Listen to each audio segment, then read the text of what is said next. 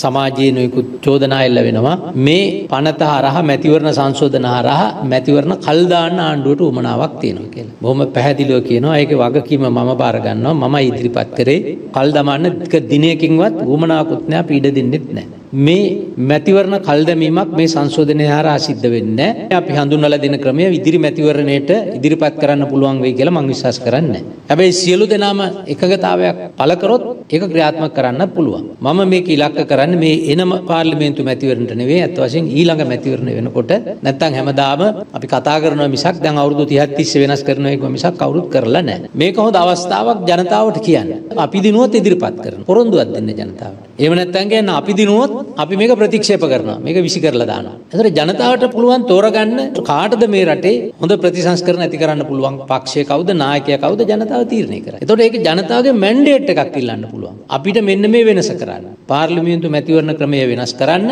මේ රටේ සෙනට් මණ්ඩලයක් ඇති කරන්න අපිට බලය දෙන්න කියලා. එතකොට ඒ අවස්ථාව ලබා දෙන්නත් එක්ක තමයි මැතිවරණයට පෙර අපි මේක ඉදිරිපත් කරන්නේ. රටේ ලෝකෙ සිදුවන උණුසුම් පුව දැනගන්න සියත නිවස් YouTube channel එක අදම subscribe කරන්න.